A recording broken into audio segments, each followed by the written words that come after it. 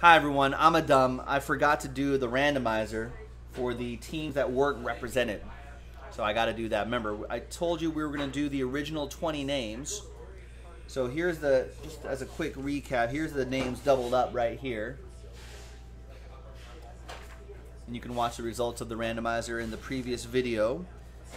But I said for the randomizer, we're going to use the original 20 names from the list right there. So there it is. Let's roll it. Let's randomize it. Three times, name on top after three. Get any of the cards that weren't represented on this team list right here as one lot. After three. Name on top after three. One, two, and three. Name on top, Jeremy Agno. There you go, Jeremy.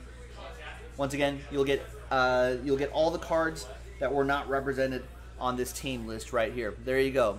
Thanks for watching. I'm Joe for jaspyscasebreaks.com. We'll see you next time. Bye.